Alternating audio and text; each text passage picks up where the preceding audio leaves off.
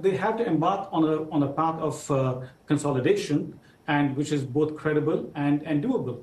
And, and that's something which, you know, every time uh, we have been in, the, in what we call as the Article 4 consultations, we've been talking about how Japan needs to consolidate its fiscal position. And now, with interest rate normalization happening, you know, as you said, Martin, now that interest rates have risen from zero, they, uh, they, they increased to 0.25 in July, and monetary policy normalization is happening, it puts even more onus on the fiscal to consolidate. And, and we've been pushing them on that. All right, so you know, whenever you've got a debt situation, you've got a, a couple options. Not many, uh, but but, uh, but still a couple options, uh, right? You can try and grow your way out of uh, the debt, and at the rate or pace Japan's growing, I'm not sure it can do that.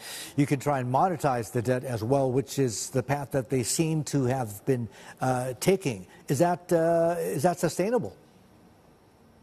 No, actually, what I mean, at this point in time, given where the debt situation, the, the, you know, you mentioned the number on debt, debt as a share of GDP is pretty high, and what we've been advising them is to come up with credible measures to, consol- to consolidate uh, the fiscal, and and that can happen many ways. You can uh, through revenue measures or through cutting expenditures, but either way, they have to embark on fiscal consolidation, especially given the fact that monetary policy is on a normalization path.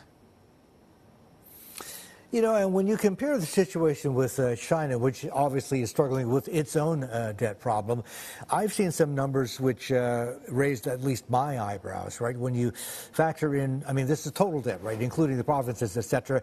It's actually 300% of uh, GDP, which is even worse than uh, Japan. A lot of folks are saying what China needs to do is, is, is, is, is well, I mean, the, the, first thing they, uh, they, they need to do, they've already embarked on, right, which is starting to cut rates.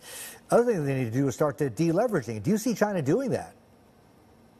So, so Martin, again, we have to be careful here. We talked about the fact that China faces uh, a risk of deflation. They have problems the property sector which they have to address.